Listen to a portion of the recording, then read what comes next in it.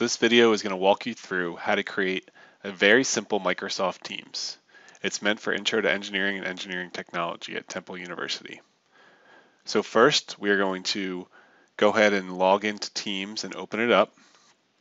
You can see that I'm logged into Temple University up here.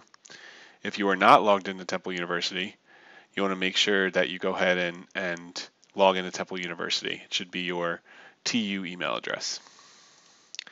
Then you're going to want to go to the Teams tab and you're going to want to go to Join or Create Team.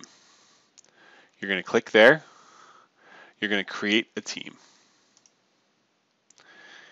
There's lots of different options, but we're going to make a really simple team and we're going to start with Other. We're going to give it a team name. I recommend just doing Intro Fall 2022 Group and then put your group number here. So if your group number is 10, you would put 10 instead of the um, two hashtags.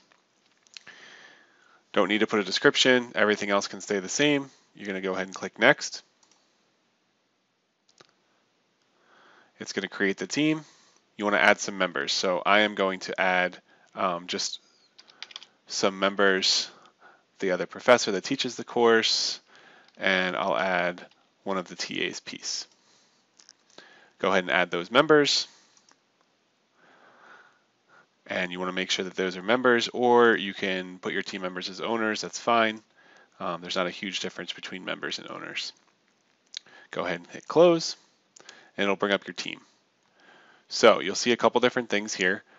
Files is where you should store any file that you work on as a group, because if you store it in here, you can work on it together. It'll automatically share it and automatically update it with Microsoft Word documents and Excel documents, and this will work just like Google Docs, where if, you make a change, it'll sync it with all your other group members. For our purposes, we're going to go ahead and we're going to take our group check-in form, and we're going to go to the Files section, and we're going to click our group check-in form. You won't see this from my folder, but you just click and drag it from a folder to there, and it'll go ahead and upload it. Then you can see the group check-in forms right here. You can click there and you can edit the file. So you're going to want to find three common days of the weeks and times, um, and whether or not you can do this on campus or virtual. And the virtual meeting should take place via Teams. And you're going to fill in your group member's name here. And every time you meet with your group, you're going to fill in a new row of this. Um, and make sure this is filled out every time because this will be a required thing that you're going to hand in. One more thing, when you're discussing things with your group, if you want the whole group to get a notification, if you want no one to get a notification, you can just say, this is a message where no one will get a notification. Just like that.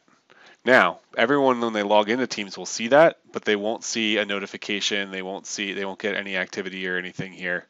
Um, if you want to notify your whole team, you can type the name of the team. So I'm typing intro fall 2022 group, and then please see here, you will get a notification from this test message.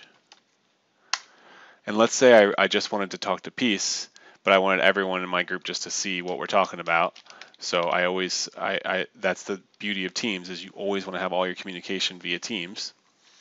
So I could say to Peace, this is a test message that I am using for a video, so disregard these notifications from this team. So there you have it. That's how you're going to start and that's how you're going to communicate in Teams.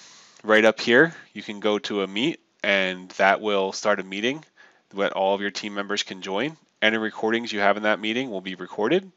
You can click here to schedule a meeting if you want to schedule a meeting with your group members. And then look, so Peace actually just gave me a thumbs up. That wasn't even planned. Um, so it means that she saw that message. So um, you can schedule a meeting like that. Um, but what I would say is for right now, don't overcomplicate things. Just talk with your teammates here.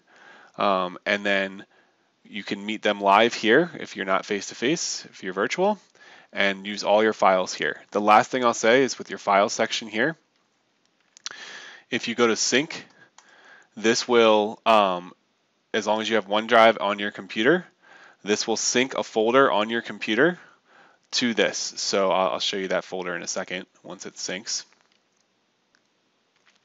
Okay, so it went ahead and sunk and we're going to show you the folder. It looks like Temple University in your folder list. And this is all of my teams, so you probably won't have as many as me. But I have intro fall 2020 group number. And that, if I work on it from here, will be synced with my team. Um, and so we can work on files together. If I open it up like this, it'll open it up outside of Teams, so I won't have to go into Teams to open up this file. I can just work on files um, that I'm working on, and it'll work in, it'll open it in regular Excel. Okay, that's it for this video. Thanks for watching.